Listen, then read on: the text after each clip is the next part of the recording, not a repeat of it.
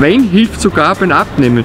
Forscher bestätigen es. Ja, das ein, ist ja- ein Glas Wein ist so effekt wie eine Stunde Sport. Ja, was ich immer sage. Was schließen wir daraus? Mehr Wein trinken. Mehr Wein trinken. Bike-Profi-Händler des Vertrauens, gell? Ja. Bei so einem Traumbody passt das. Traumbody. Wir schauen eh nicht rein. Bist du gelangt?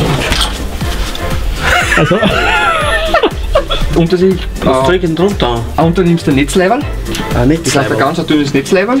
Auch Netzleiberl? Netzleiberl. Gibt's das bei? Ja, warte, ich bring das. Sag das. Schaut das erotisch aus?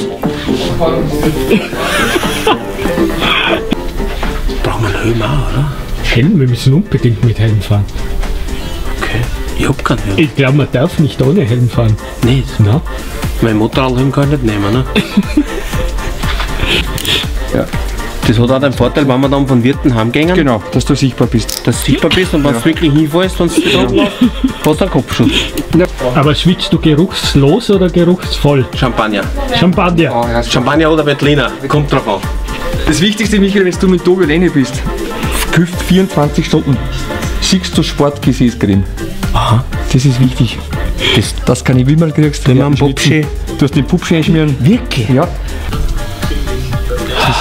Ja, haben wir das gleiche Zimmer. Ja, sicher haben wir das gleiche Zimmer. Gleiche Zimmer. Wir haben ein schmales Budget, Mann.